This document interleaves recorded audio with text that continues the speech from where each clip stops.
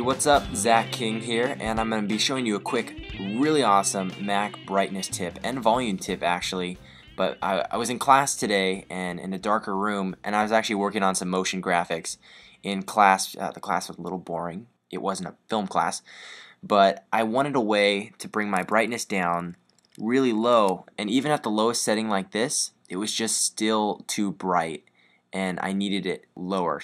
There's two ways I could do that. One is just to turn off my computer and pay attention, or I can hold down a key command which I figured out works with both the volume and the brightness, and you can divide these little sections here, each little piece, you can divide this into four, just like you can with the volume.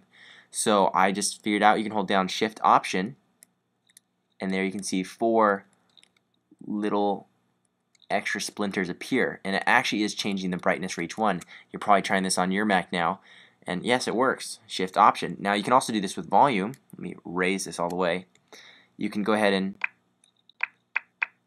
and there's actually different levels of volume so you actually divide each one into four more splinters and brightness is awesome because I brought it all the way down like this and then went down three more clicks and it's a lot darker actually.